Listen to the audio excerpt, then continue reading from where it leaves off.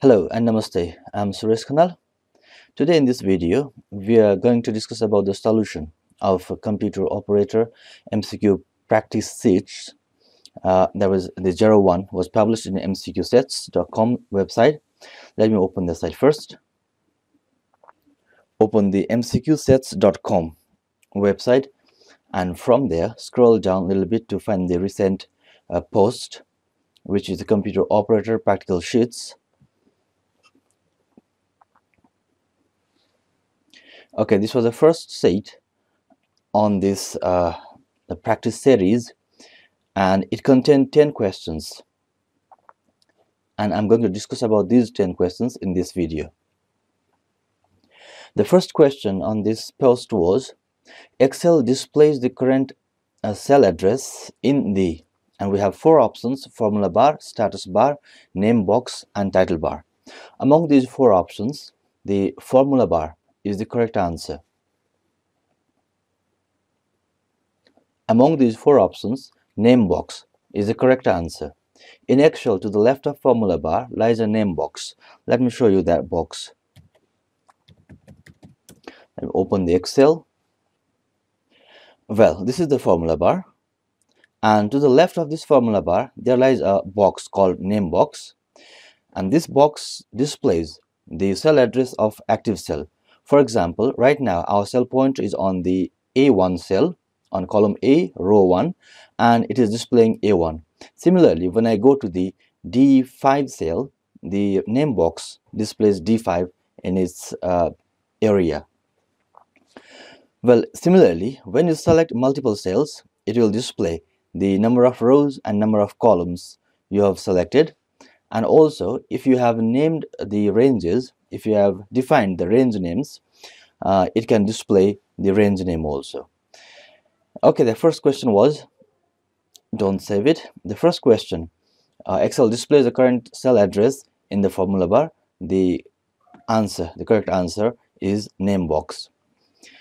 Let's go towards the second question. The output quality of a printer is measured in the dot per inch the first option second option dot per square inch the third option dot printed uh, per unit time dots printed per unit time and the fourth option all of above.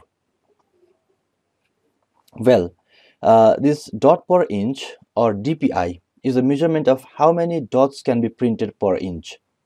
However the quality of printer is determined by the dots per square inch. In case the printer cannot print equal number of dots horizontally and vertically.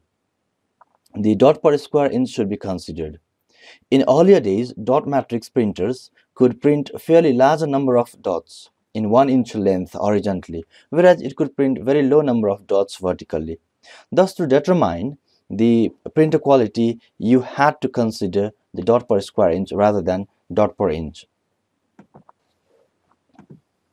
Even though today's printers can print almost equal number of dots, both horizontally and vertically, you'll need to choose dot per square inch for this question. If you have this option available, considering the question is composed taking reference to the older collection.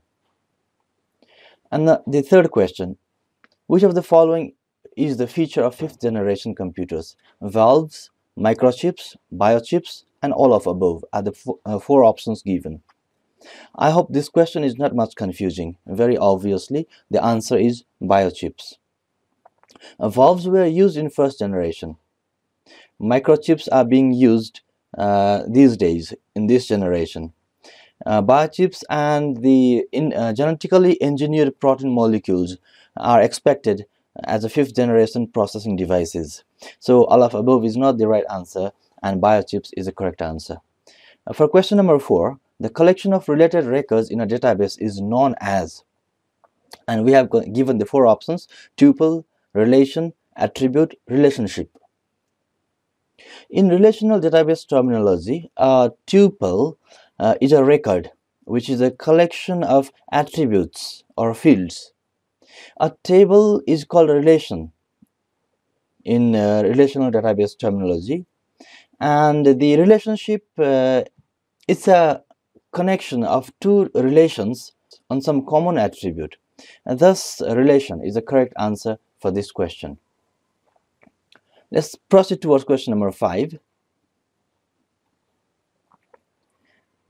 the most efficient method to reduce the duplication of data is and we are given primary key normalization denormalization and ORDBMS and the correct answer is normalization because it's the method of breaking tables into smaller ones so that you can eliminate data duplication and enhance the data integrity. That's the definition of normalization and this the correct answer is normalization. Uh, question number six, how many bits you'll need to code 100 different objects? That means you have got 100 objects and you need to give a, a unique code for each of them if you are using binary system then how many bits how many binary digits you will require? So we are given the option 5 bits 6 bits 7 bits and 8 bits. So among these uh, four options the correct answer is 7 bits. You will need 7 bits to represent 100 different objects because uh, 2 to the power 7 is 125 which is slightly more than the 100 but if you pick only 6 bits only 6 bits then you can code only 2 to the power 6 equals to 64 different objects. So 64 is not sufficient. That's why we need to take 7 bits if we need to code 100 different objects.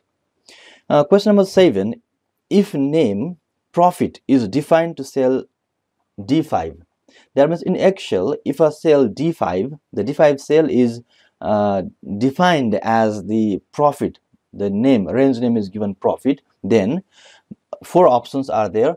A value of d5 is profit. B formula d5 upon 2 may be written as profit upon 2 uh, sorry the question here is um, little mistaken. Profile upon 2 it had to be profit upon 2 I made a uh, mistake while typing this. And option C is both and D none so in your exam if this is the question and you got the profit here then option B is the correct answer because once you define range names you can use it in formula as cell addresses. Uh, option A is not valid because uh, defining range names will not assign a value to the cell. So option A is not correct. Uh, both is not the condition here and none is not the condition here. But in your exams if this is profile and the name given is profit at that time this non will be the correct answer. Uh, question number eight. Which of the following device is used for serial access? For serial access option a ram b magnetic cassettes uh, c magnetic disk and d l1 cache. So among these four options the magnetic cassettes is a magnetic tape which is sequential by its nature other options such as RAM, disk and L1 cache, all of them they are the direct access or random access devices. So magnetic cassettes or magnetic tapes, they are serial uh, by its nature. Correct answer is option B. Uh, question number 9. Hypertext Markup Language, that is HTML, is somehow similar to number A, event-driven programming language, number B, structured programming language, number C, script language, Number D, MS Word. So among these four options, uh, HTML is very similar to scripting languages. HTML documents are not like event-driven programs, nor are they like these structured programs.